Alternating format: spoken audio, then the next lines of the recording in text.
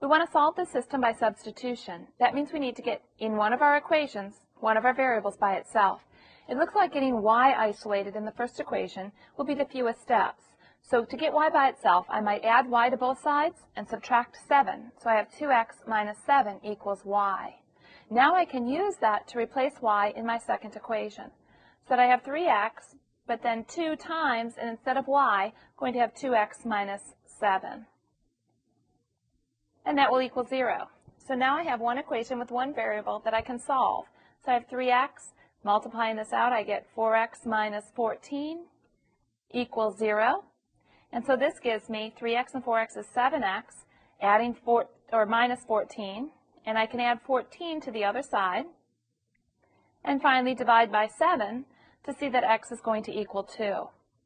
Once I have x, I can substitute it into either of the original equations to find y, since y is already solved for here, I could substitute it in to the equation I solved for to have y equals 2 times 2, because x equals 2, minus 7.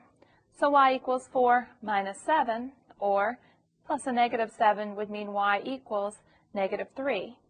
So our solution is x equals 2, y equals negative 3, or as an ordered pair, that would be the ordered pair 2, negative 3.